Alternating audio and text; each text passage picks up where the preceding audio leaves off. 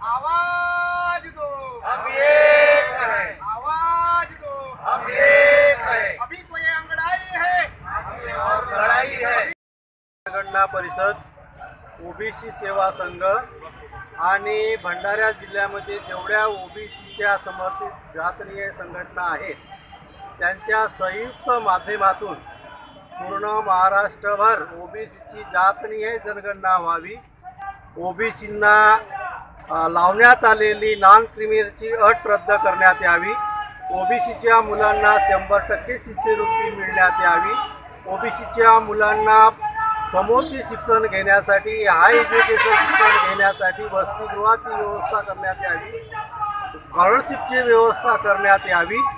अशा अनेक मुद्दे त्याचप्रमाणे यावर्षी महाराष्ट्र शासनाने ओबीसीच्या विद्यार्थ्यासाठी शिक्षण चांगलं व्हावं उच्च दर्जाचं शिक्षण मिळावं म्हणून महाज्योतीची स्थापना केली. महाज्योती म्हणजे महात्मा ज्योतिबा फुले यांच्या नावाने जी महाज्योती स्थापना केली त्या ज्योतीच्या नावाने अजूनही पाहिजे त्या प्रमाणामध्ये कार्यालयाचा रिसर उद्घाटन झालं नाही. कार्यालय आणि आमचे ओबीसीचे नेते म्हणतात की आम्ही ओबीसीसाठी हाय केलं ओबीसीसाठी तो केलं.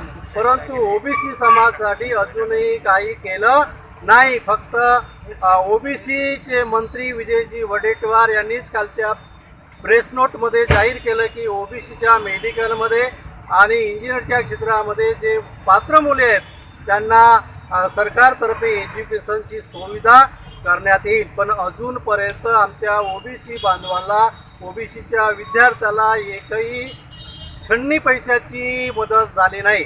म्हणून आम्ही पूर्ण महाराष्ट्रामध्ये अ, या ओबीसी जनगणना परिषदमध्ये विविध ओबीसीच्या संघटनाच्या माध्यमातून तीन जानेवारीला प्रत्येक तालुक्यामध्ये तहसील लेवलवर जिल्हा लेवलवर आम्ही एक दिवसाच्या धरणे आंदोलन सुरू करण्यात आलं आहे.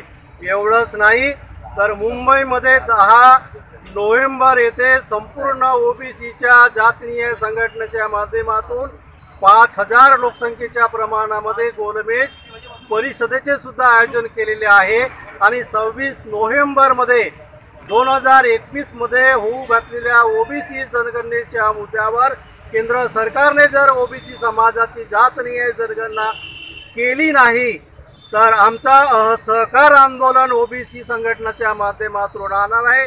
आणि सव्वीस नोव्हेंबरला संविधान दिनी संपूर्ण भंडारा जिल्ह्यामध्ये बाईक रॅलीचं सुद्धा आयोजन करण्यात येत आहे. जर सरकारने तेही मान्य केलं नाही तर आम्ही सरळ ओबीसी संघटनेच्या माध्यमातून जर OBC S C S T N T आणि एस बी सी समाजाचा जनगणनेचा कालम नाही तर आमच्या ओबीसी समाजाच्या जनगणनेला सहकार्य राहणार नाही असा ठाम निर्धार आम्ही या संघटनेच्या माध्यमातून घेतलेला आहे.